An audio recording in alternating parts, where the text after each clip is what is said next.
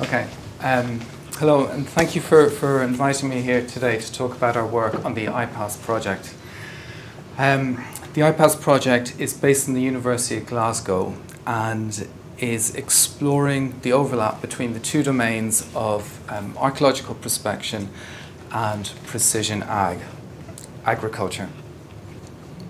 Um, specifically with the view to uh, um, thinking about sharing data and making data shareable. So it specifically focuses on the interoperability of data between the two domains. So what is precision agriculture? It's a contemporary farming method that adopts new technologies to, um, first instance, decrease inputs, save on costs, um, increase its output, make a profit, and thirdly, um, to farm sustainably. And in our current climate of um, uh, environmental issues, this has become uh, an important point. There are incentives for farmers to farm sustainably. And if you want to hear more about this and more, more about the larger context of the IPAS project, I recommend my colleagues Rachel Opitz's talk on Friday morning ses session, where she'll go into that side of things in, in more detail. But the purpose of today's paper is to focus a little bit on the similarities in data types between precision agriculture and archaeological prospection. You'll recognize some of the methods that precision agriculture uses to achieve its aims. Here we have um, multispectral remote sensing, uh, hyperspectral imaging. Um, so they're concerned with crop health. So that these are well familiar to us in archaeological prospection. On the soil side of things, on the soil health, precision agriculture employs um, electrical, electromagnetic induction instruments, or EM instruments, which are also familiar to us. There's one mounted on a, on a tractor and it also engages in, in uh, soil sampling, so that's soil sample data to validate the results and also to help with the calibration of the instruments. Typical outputs from uh, precision ag are agriculture are um, management zone, the creation of management zones, which are map layers which are fed back into the controller to help with the application of variable rate um, applications. So, for example, fertilizing, um, seeding, tilling, or even irrigation. So at the bottom you can see some typical outputs which look fairly familiar. Um, it's all about making decisions for the farmer. Um, the, the, the, computers are um, sorry, the sensors uh, record the data and it's converted into these maps and then it's fed back into the um, onboard systems on the, in, in the tractors and that is what controls the actual um, rate of application.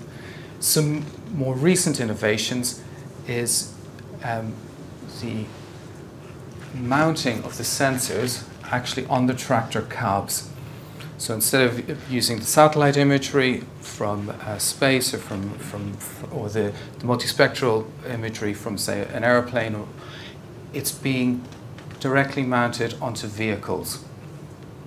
This means the application can be done in real time. So this is important for farming. They want their decisions instantaneously.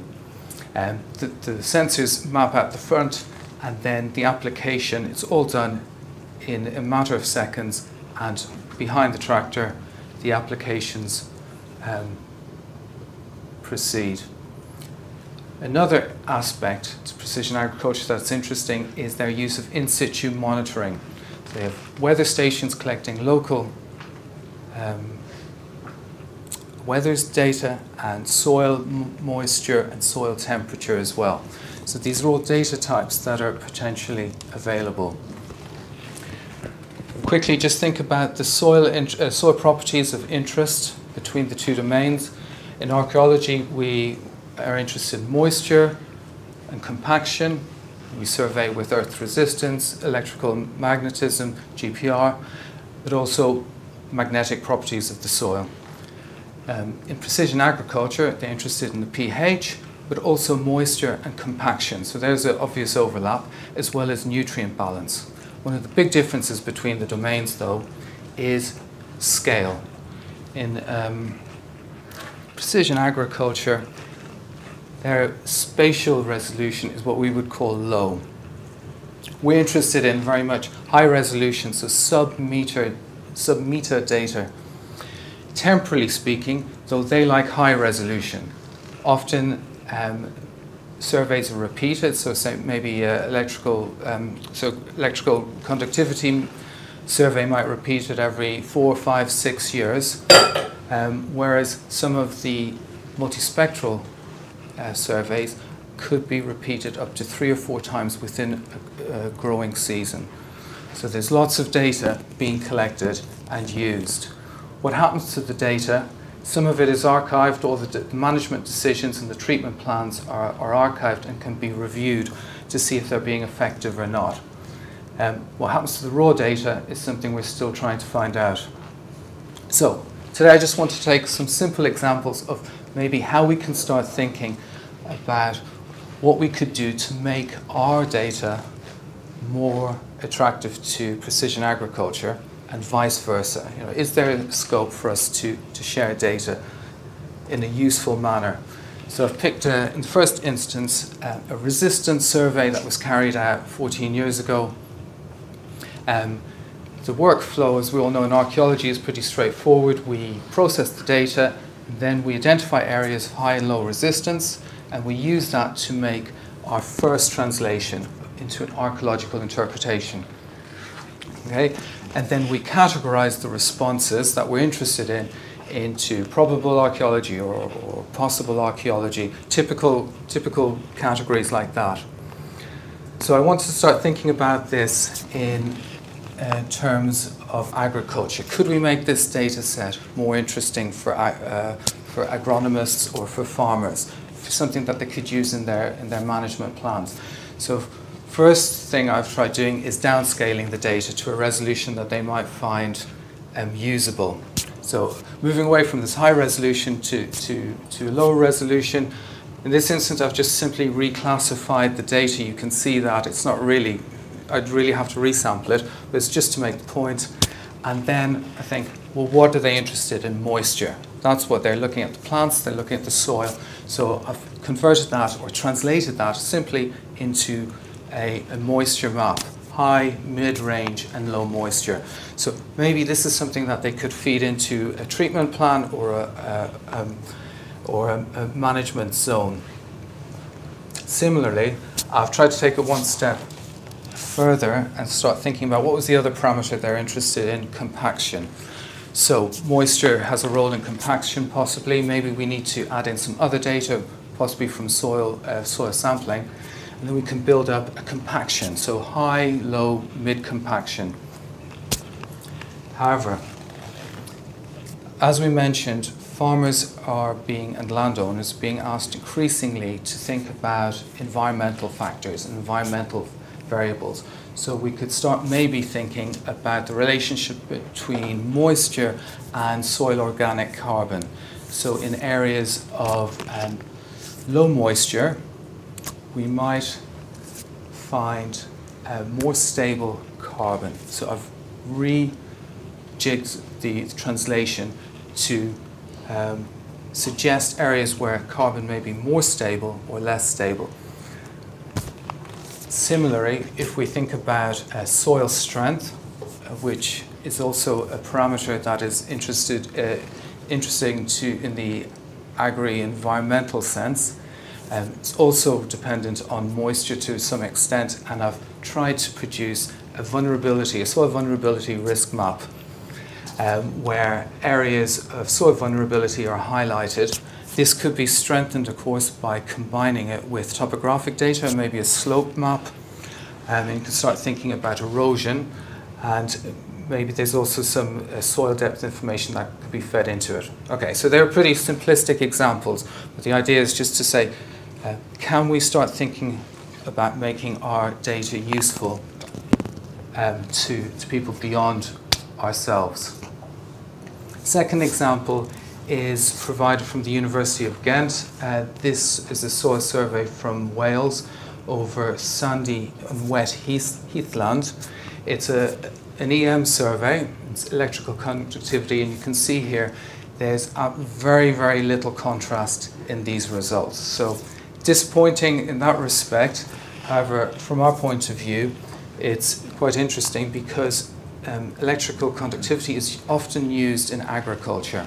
But in agriculture, the magnetic data set, so the magnetic susceptibility data set, that is actually uh, collected simultaneously with this, is generally not used or underused. It's ignored.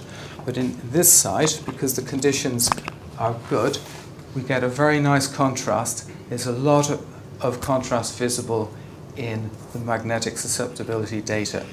None of it is archaeological, so it's of no interest really to us. However, for a farmer or a landowner, there should be some potential in this, um, based on the fact that there has been a, a known link between iron oxides um, and its role in, in the fixation of certain nutrients in the soil. So this is a link that's been demonstrated in certain circumstances. So by uh, uh, using the magnetic, magnetic susceptibility bank, it might be possible for the farmer to draw some conclusions about the spread of certain minerals um, within the soil here. Okay. So finally, for the uh, last example,